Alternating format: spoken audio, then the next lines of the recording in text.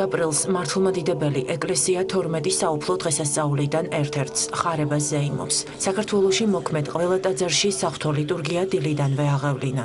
სრულიად საქართველოს კათოლიკოს პატრიარქმა, მცხეთა თბილისის მთავარ ეპისკოპოსმა და ბიჭვინთისა და ცხუმ-აფხაზეთის მიტროპოლიტმა, უწმინდესმა და უნეტარესმა ილია მეორემ სადღესასწაულო წირვა წმინდა სინოდის წევრებთან ერთად ყოვლადწმინდა ღვთისმშობლის მიძინების სახელობის სიონის საპატრიარქო ტაძარში აღასრულა. საქართველოს ეკლესიის საჭეთპყრობელმა სრული სრულიად საქართველოს ხარების დღესასწაული მიულოცა და დღევანდელი დღის მნიშვნელობაზე ისაუბრა.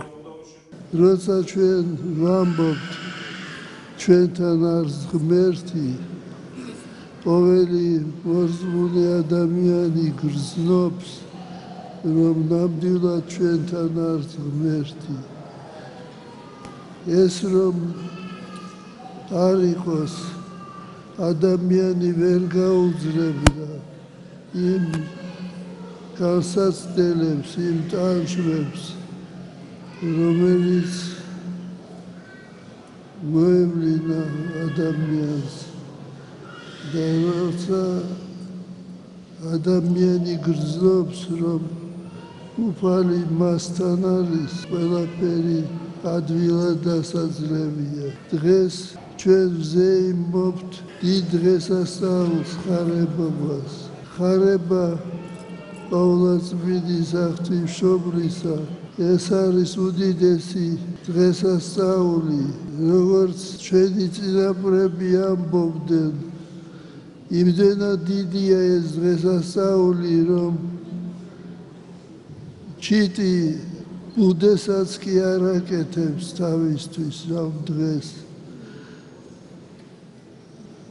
სიხარული სიყვარული ჩახსოვილია ამ დღესასწაულში დღესასწაული ხარებისა არის უძველესი დღესასწაული.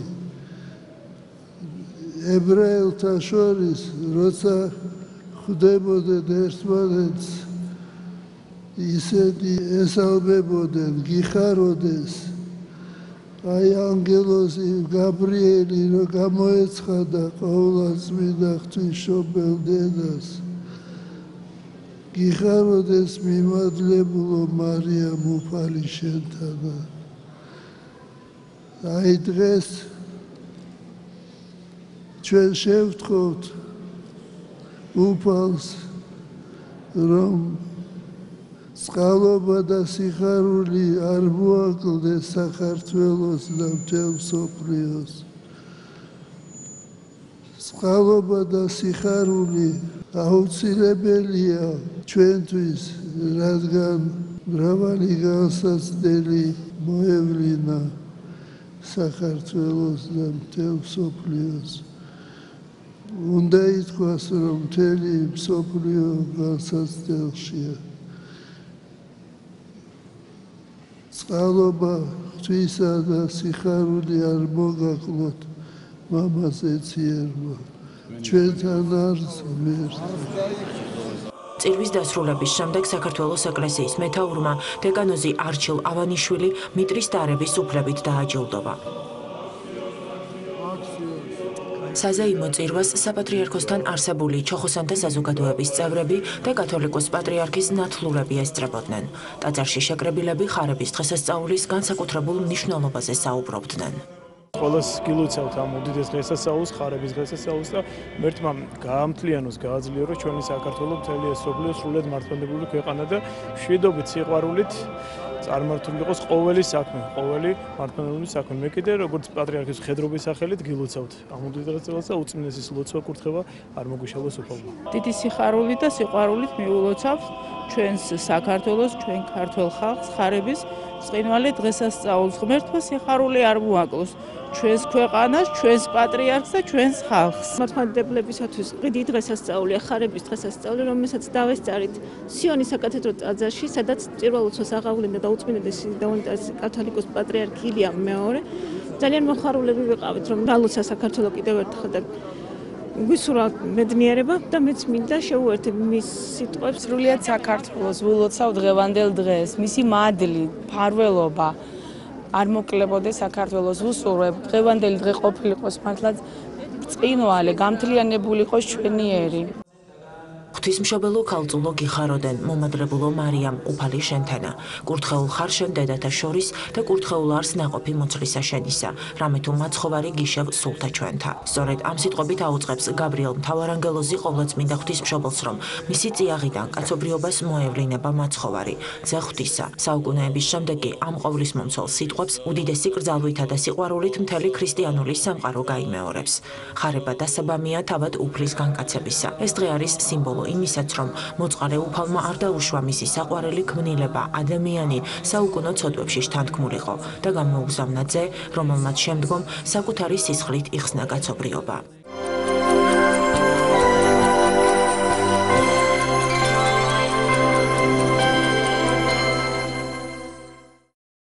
ხარების დღესასწაული განსაკუთრებული სიხარულით სვეტიცხოვლის საპატრიარქო ტაძარში აღინიშნა. საზეიმო წირვა ამბა ალავერდელმა მიტროპოლიტმა დავითმა სხვა სასულიერო პირებთან ერთად აღავლინა. ღვთისმსახურების დასრულების შემდეგ მღვდელმთავარმა მრევლს დღევანდელი დღე მიულოცა და ღვთისადმი მორჩილების მნიშვნელობაზე ისაუბრა.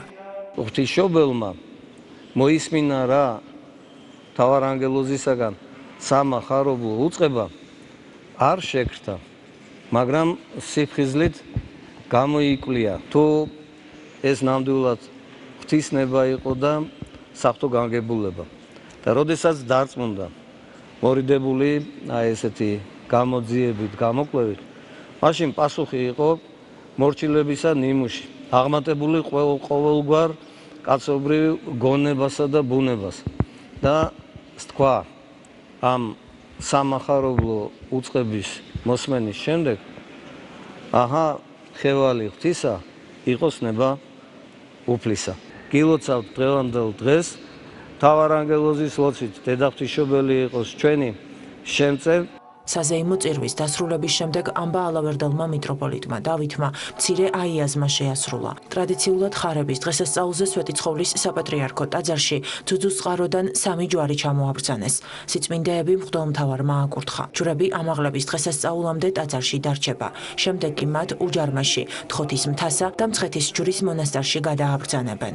ეს არის გამეორება იმ ისტორიისა, როდესაც ხარება დღეს მოიჭრა ხე ძუძუს წაროზე აა ეპისკოპოს ივანეს წმინდან მითითებით აა წმინდან ინოს და მეფე მირიანის აა თანამონაწილეობით და ეს ხე ზიაღმართული ჩამობრძანდა სვეტიცხოვლის ტაძარში. 37 დღეს მისგან შეიქმნა სამი ჯვარი აა რომელიც შემდეგ სეციური სასწაულის მიხედვით აღიმართა ცხეთის ჯვარზე, თხოთის მთაზე და უჯერმაში. გალობით სიწმინდეებითა და ბაირაღებით მცხეთის ქუჩებში მსვლელობა მოეწყო.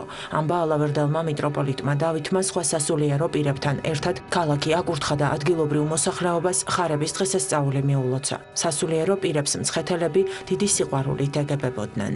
წმინდა დედაქალაქ მცხეთაში სხურებით მსვლელობა მე-11 საუკუნის წესი ტრადიციაა, რომელიც სულ ცოტა ხნის წინ აღორძინდა კათოლიკოს პატრიარქის ლოცვა-კურთხევით და დღეს, რადგან დღესასწაული არის, აი ამ წეს ვიხსენებ და მასთან დაკავშირებულ საფრთხო ისტორიას. მერწმა მრავალი ხარება გაუწევს ჩვენ ხალხს და გაერთიანება და ბედნიერება და სიხარულს უსურვებ ყველას.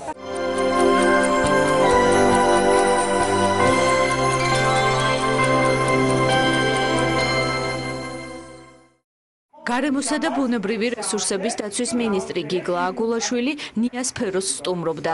უწყების ხელმძღვანელი სტუდენტებს გარემოს დაცვით საკითხებზე ესაუბრა და სამინისტროს სამომავლო გეგმები გააცნო. დღესვე მინისტრმა ეროვნული ბიბლიოთეკის დირექტორ გიორგი კეკელიძესა და პოლონეთის ელჩ მარიუშ მაშკიევიჩთან ერთად გარემოს ეროვნული სააგენტოს ახალი ბიბლიოთეკა დაათვალიერა. აღსანიშნავია, რომ ნიასფეროში სტუდენტებს შესაძლებლობა აქვთ პროფესიული ცოდნა აიმაღლონ და გარემოს დაცვით სფეროში უახლესი ლიტერატურით ისარგებლონ. შეხვედრა ინტერაქტიულ რეჟიმში წარიმართა. აქ შეიქმნა სპეციალური ბიბლიოთეკა გეოლოგებისათვის, ჰიდროლოგებისათვის აგაჩნდა პირველი წიგნები, პირველი ეგზემპლარები და მომავალში ეს შესაძლებლობა რომელთაც ისარგებლებენ ჩვენი სტუდენტები, ჩვენი მომავალი სპეციალისტები, რა თქმა უნდა, გაიზრდება, რადგან იმედი გვაქვს, რომ ამ ფონდს გავზრდით ასევე ჩვენი პარტნიორებისა და მეგობრების დახმარებითაც.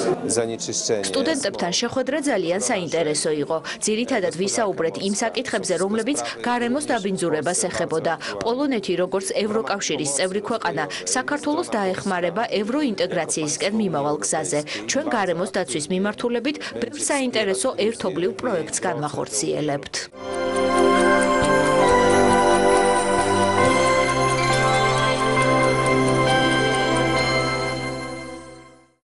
ვაზისა და ღვინის საერთაშორისო ორგანიზაციის ღვინის მენეჯმენტის სამაგისტრო პროგრამის სტუდენტები ქართული ღვინის კულტურას შეისწავლიან. 18 კაციანი ჯგუფი საქართველოს უკვე ეწვია. გაცნობიტი ტურის ფარგლებში მაგისტრანტები გაემგზავრნენ კახეთში, სადაც ქართული ღვინის მწარმოებელი კომპანიები მოინახულეს. სტუდენტები ქვევრის დამზადების ტექნოლოგიას გაეცნენ და სხვადასხვა დასახელების ქართული ღვინო დააგემოვნეს. დედაქალაქში დაბრუნებულმა უცხოელმა სტუმრებმა ღვინის ეროვნული სააგენტოს მუზეუმი დაათვალიერეს. გაათვალიერეს. მათზე განსაკუთრებული შთაბეჭდილება სწორედ ქვევრის ღვინის დაგემოვნებამ და დამზადების ტექნოლოგიამ მოახდინა. ვაზისა და ღვინის მსოფლიო ორგანიზაციას, რომლის ოფისიც პარიზში მდებარეობს, აქვს სამაგისტრო პროგრამა, რომლის სტუდენტები ეცნობიან სხვადასხვა ქვეყნის მეღვინეობის დარგს, სხვადასხვა ქვეყნის გამოცდილებას ღვინის მიმართულებით და უკვე მეორე წელია მათ პროგრამაში უკვე საქართველოს ჩასმულია. ისინი მეორე წელია სტუმრობენ საქართველოს და ადგილზე ეცნობიან ქართული მეღვინეობის ისტორიას, კულტურას და განსაკუთრებულობას. ვიდრე საქართველოს პროგრამის ფარგლებში ვესტუმრებოდით, მის შესახებ გარკვეული ინფორმაცია გქონდა, თუმცა ვიზიტის შედეგად შთაბეჭდილებებმა ყოველგვარ მოლოდინს გადააჭარბა. განსაკუთრებით საინტერესო აღმოჩნდა ქართული ღვინის ისტორია, ტრადიციები, ქვევრის ღვინო, ასევე ზოგადად ქართული ხალხის სტუმართმოყვარეობა, კულტურა და ქართული სიმღერა. შთამბეჭდავია თუ როგორ ერწყმის ისტორია და თანამედროვეობა ერთმანეთს.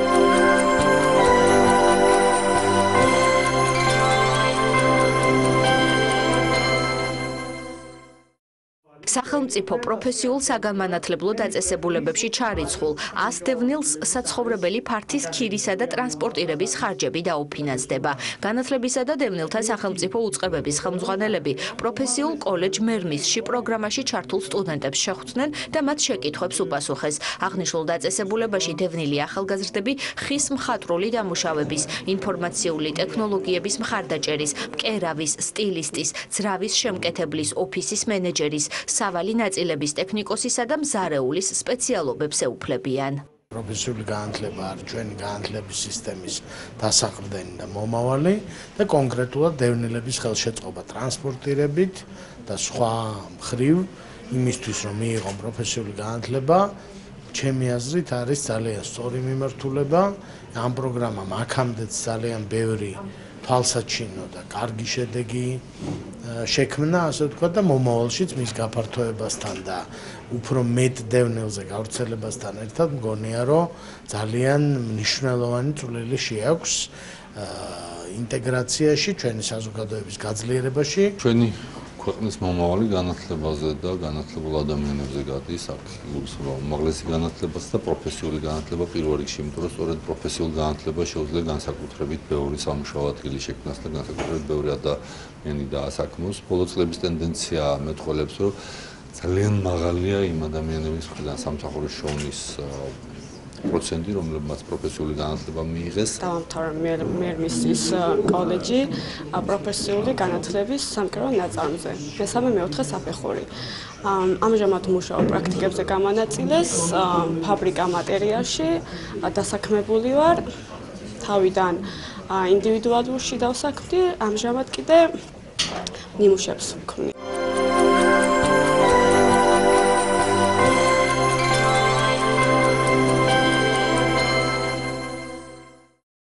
თბილისს კიდევ ერთი ახალი საბავშვო ბაღი შეემატება.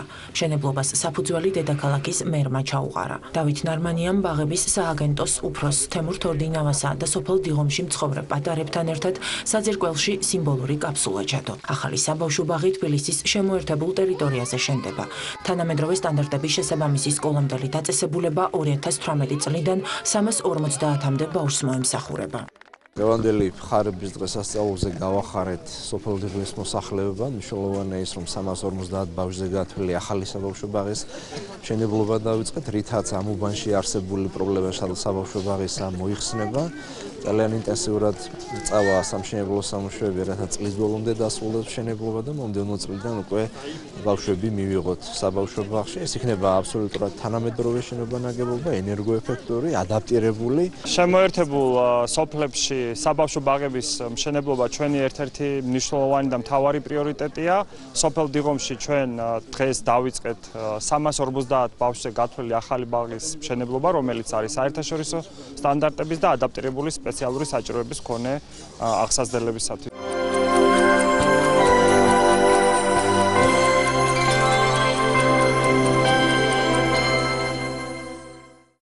ვენეციის ხელოვნების საერთაშორისო ბიენალეზე წარსადგენი პროექტი სახელწოდებით ცოცხალი ძაღლი მკვდარი ლომების გარემოცვაში უკვე მზადაა და რამდენიმე დღეში იტალიაში გაიგზავნება.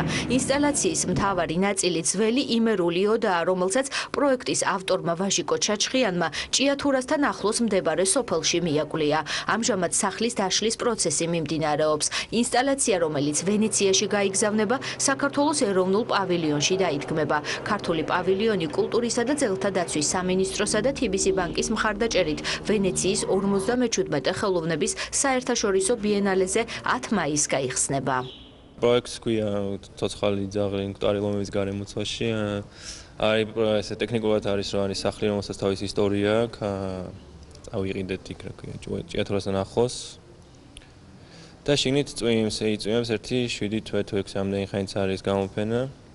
რაც იმას გამოიწვევს, რომ ინტერიერი დეფორმაციას დაიწყებს, ხავსი მოედება და შეიცვლება. რეალური სახლი გარკვეულწილად არის რეალური ცხოვრების ამსახველი, ამავდროულად ეს არის ისტორიული სახლი, ანუ რაღაც დონეზე ისტორიულ მოვლენებსაც ასახავს, არა კონკრეტულ მოვლენას, არამედ მთლიან პროცესის ისტორიის, ანუ გასაყარზე იმყოფება რეალობისა და ისტორიის და ძალიან პერსონალურია, იმიტომ რომ თვითონ შინაგანი ინტერიერიც და ის განწყობაც ის რო წვიმს შიგნით და ასე შემდეგ არის ამავდროულად ძალიან პერსონალური, რაც შესაძლებელი გასაგები იყოს ყველა მაყურებლისთვის. ძალიან გვემაყება რომ წელს ძალიან ნიჭიერი ახალგაზრდა არტისტია შერჩეული ვაჟიკო ჩაჩხიანი რომელსაც ქართული პავილიონი აქვს კონცეპტუალურად და ვიზუალურად ძალიან დატვირთული პროექტით.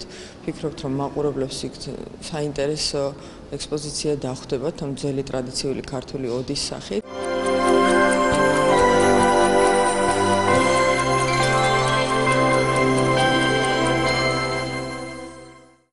8 აპრილიდან დედაქალაქში სასკოლო სპორტული ოლიმპიადა თბილისი 2017 იწყება. ღონისძიების ფარგლებში მოსწავლეები ერთმანეთს სპორტის ხუთ სახეობაში შეეჯიბრებიან. პროექტში 240-მდე საჯარო და კერძო სკოლის გუნდი მონაწილეობს. გამარჯვებულები კი 2018 წელს მსოფლიო სასკოლო ოლიმპიადაზე გაიმგზავრებიან. ყველა სათამაშო სახეობა გვაქვს, იმედი გვაქვს მომავალ წელს რეგბიც ჩაერთვება ჩვენთან ერთად. ამ სახეობებში დგება სკოლის ნაკრები გუნდი, რომელიც თამაშობს ჯერ მუნიციპალურ თამაშებს, ეს გრძელდება სასწავლო წლის ყველაზე მეტი პერიოდი, სადღაც 6 თვემდე, ანუ ოქტომბრიდან დაწყებული მარტის ჩათვლით, შემდეგ იწყება რეგიონალური ფინალები, ანუ მუნიციპალიტეტებში გამარჯვებული გუნდები თამაშობენ რეგიონალურ ფინალს. შემდეგ ეწყობა ზონალური, ანუ აღმოსავლეთ საქართველოს, დასავლეთ საქართველოს და მეორე არის ფინალი. კალათბურთი, სამი სამზე გოგოები, ბიჭები, მაგიდის ჩოგბურთი, გეზბენი და სპორტულ შემეცნებითი პროგრამა, სადაც სკოლები ანუ აკეთებენ თავის პრეზენტაციას ამა თუ იმ საკითხებზე, რომელიც ეხება რა თქმა უნდა სპორტს. წელს შემოგვიერთა თბილისი, კიდევ გამეორდები და პრინციპში მიიღო სრული სახე.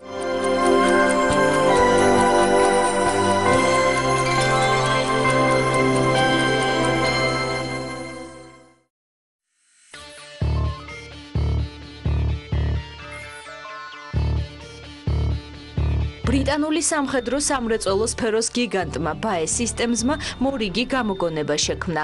ამჯერად კომპანიამ შეიმუშავა ტანკის გარეფენა, რომელსაც ხამის ხედვის სისტემის ინფრაწითელი გამოსხივების შთანთქმა შეუძლია და ამგვარად ჯავშან ტექნიკას უხილავს ხდის. რა თქმა უნდა, ლაპარაკი არ არის იმაზე, რომ ფოლადის უზარმაზარი სტრუქტურა ადამიანის თვალისთვის შეუმჩნეველი იქნება, თუმცა ტექნიკურმა მიღწევებმა ხამის პირობებში ეს სრულიად შესაძლებელი შესაძლებელი გახადა. ახალ ტექნოლოგიას ადაპტივი შეარქვეს და ის საზოგადოებას პირველად ლონდონში იარაღის საერთაშორისო გამოფენაზე წარუდგინეს. დამცავი ფენა, რომელსაც ხამის ხედვის დანადგარებისთვის ტანკის შეუმჩნევლად დატოვება შეუძლია, აქტიური სტრუქტურაა და ის ასეულობით 6 კუთხა უჯრედისგან შედგება.